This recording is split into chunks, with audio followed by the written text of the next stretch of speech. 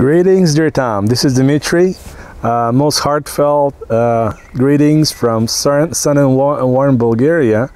We're enjoying a very nice uh, spring time here, and uh, everybody's looking forward to a very busy and intense summer season because that's the harvest season for us with the ministries like New Hope and uh, church ministries that we serve to empower and equip here in our country.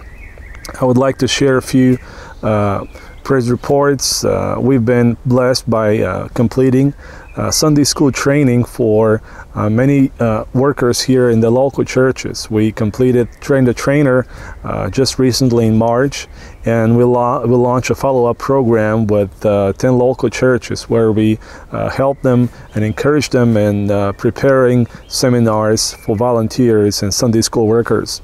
We also uh, finished the translation and editing of uh, Purpose Driven Youth Ministry, and uh, the book is being typeset, and soon we will print it and we'll provide it for the uh, Christian schools in our country and many local churches to use for training of uh, leaders for uh, teenagers and youth ministries.